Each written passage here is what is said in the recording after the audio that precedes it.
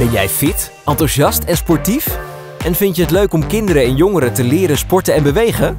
Dan is de ALO, de Academie voor Lichamelijke Opvoeding, iets voor jou. Ik heb voor de ALO gekozen omdat ik vanaf de middelbare school al wist dat ik eigenlijk de sportkant op wilde. Nou ja, dan kan je kiezen met de sportkant van management of juist de lesgeefkant. Maar ik wil graag met mensen werken en daarom heb ik eigenlijk voor de ALO gekozen. We leiden studenten op als eh, eerste graad docent, bewegingsonderwijs, het basisonderwijs, voortgezet onderwijs, maar ook in het beroepsonderwijs. En het gaat natuurlijk niet alleen over sport, maar je bent ook de pedagoog. Eh, dus het gaat ook om ontwikkeling van kinderen. En we hopen dat zij echt ontwikkeling kunnen brengen op het gebied van bewegen in en om de school.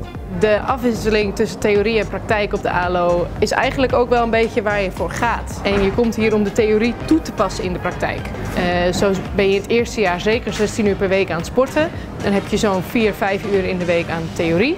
En dat wordt allemaal bij elkaar weer toegepast in de lessen. En daarnaast loop je ook heel veel stage. Dus je kan gelijk de theorie en de praktijk die je hier hebt geleerd, kan je gelijk toepassen op je stage. En je ziet wel later dat je echt ook meer de diepte ingaat op de theorie. En dat dat ook allemaal een stuk belangrijker wordt om te professionaliseren.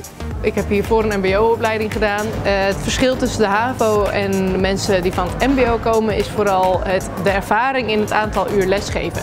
Je merkt wel aan de mensen die van HAVO komen dat dat stukje nog even mist. Uh, er is aanzienlijk wel een verschil dat de havisten het wat sneller oppakken. En eigenlijk is het verschil tussen de mbo'ers en de havo'ers na een jaar wel aardig gelijk getrokken. Klinkt goed? Het is natuurlijk ook belangrijk dat de opleiding bij je talenten en interesses past. En dat je je goed voelt bij de sfeer.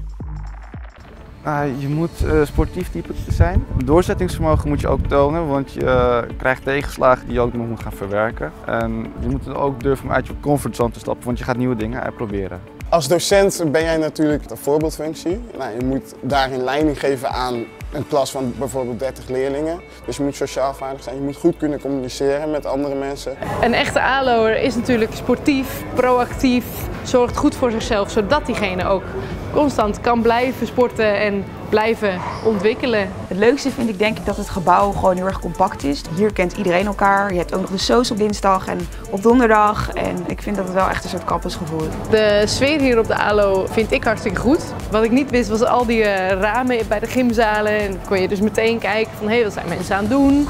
De omgang met docenten en studenten is heel erg natuurlijk. Uh, in het eerste jaar dan heb je zelf nog meer een beetje het gevoel van oké, het zijn echt mijn docenten. En hoe meer je gaat leren over de theorie en de praktijk, krijg je eigenlijk steeds meer een gelijkwaardige band. En dat is ook waar de docenten hiervoor staan. De kantoor staat eigenlijk bijna altijd open als ze er zijn. en ook binnen de les proberen ze ook heel veel individuele aandacht te geven, zodat je met je vragen naar een docent toe kan komen. Er heerst dus een fijne persoonlijke sfeer op de ALO.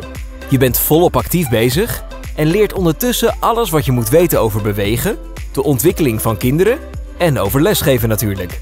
De basis om na je opleiding aan de slag te kunnen gaan als gymdocent.